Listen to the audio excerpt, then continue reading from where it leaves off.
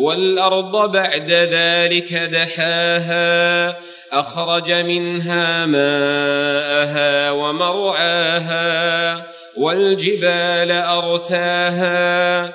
متاعا لكم ولأنعامكم. أعوذ بالله من الشيطان الرجيم. بسم الله الرحمن الرحيم. وصلى الله على سيدنا محمد وعلى آله وصحبه وسلم.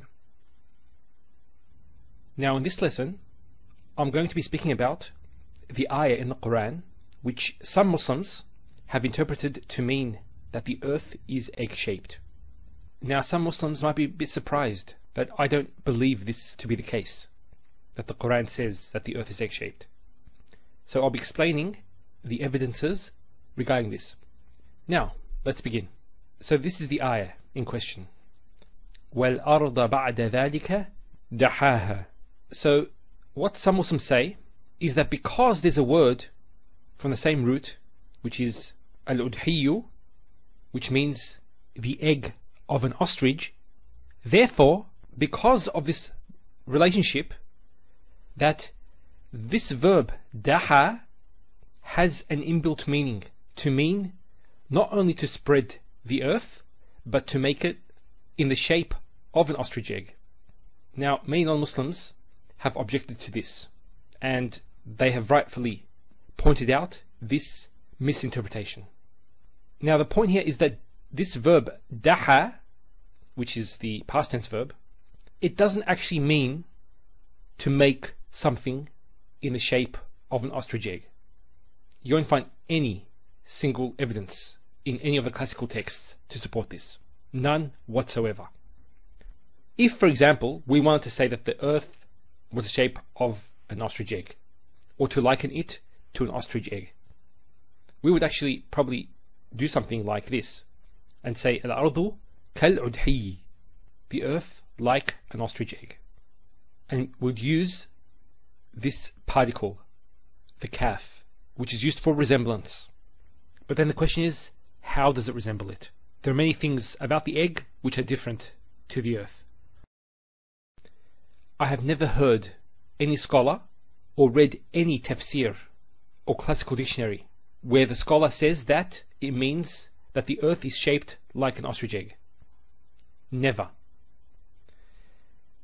Daha means, in classical Arabic, he spread out or he expanded. And that's the general meaning of it. Although there are other words to mean to spread out and to expand. So the point is, what's the difference between this word and other words? A good way of understanding a word is to go to the way that the ancient Arabs used this word. How did they use it? It would give an idea of what Allah subhanahu meant. So the ancient Arabs actually used this word to explain the action of an ostrich preparing the ground or the nest before laying their eggs. So in the environment where ostriches live, the ground is very hard.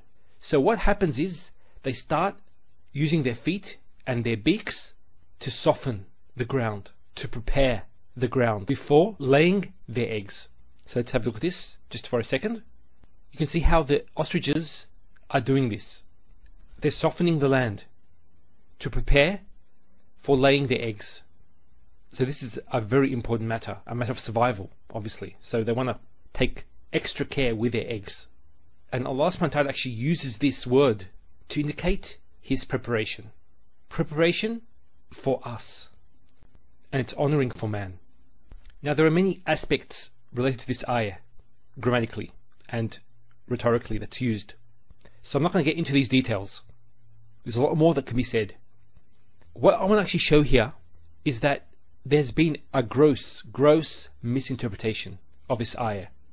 The reason why is because Allah subhanahu wa ta'ala explains what dahaha means actually.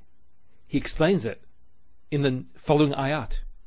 Why are we interpreting it to mean this if Allah explains it? So the following ayat say, أخرج منها ماءها ومرعاها والجبال أرساها. So he extracted from it its water and its pasture, and the mountains he set firmly. Now what's interesting about this is there's no conjunction. joining this ayah to what comes after it. If there was a waw, wa akhraja minha, then it would just be joined. So one after the other. He did this, and this, and this. But by not mentioning the waw, what this does actually is this becomes a clarifying sentence. Actually, these both of these, both of these are clarifying sentences of this ayah here. So it's known as a jumla bayaniya. I actually explain this concept in my advanced courses. But the point here is that if you want to know what dahaha means, it's akhraja minha ma'aha wa mar'aha والجبال أرساها. So as we said, daha means to prepare the earth. And this is how Allah prepared the earth for us. And He says, مَتَاعًا لَكُمْ وَلِأَنْعَامِكُمْ As a provision for you and your livestock. So this interpretation is more in line with classical Arabic. Now my intention is not to belittle those Muslims who said this, but just to point out their mistake. And as Muslims, we should always be willing to accept that we are in the wrong and to accept the truth. وصلى الله على سيدنا محمد وعلى آله وصحبه وسلم والحمد لله رب العالمين